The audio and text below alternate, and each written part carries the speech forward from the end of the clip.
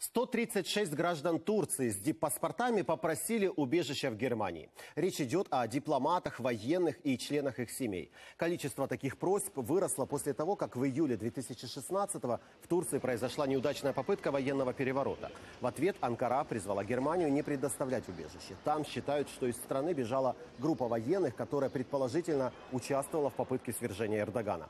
Сам же президент даже допустил проведение референдума о возвращении смертной казни в Турции. Турции.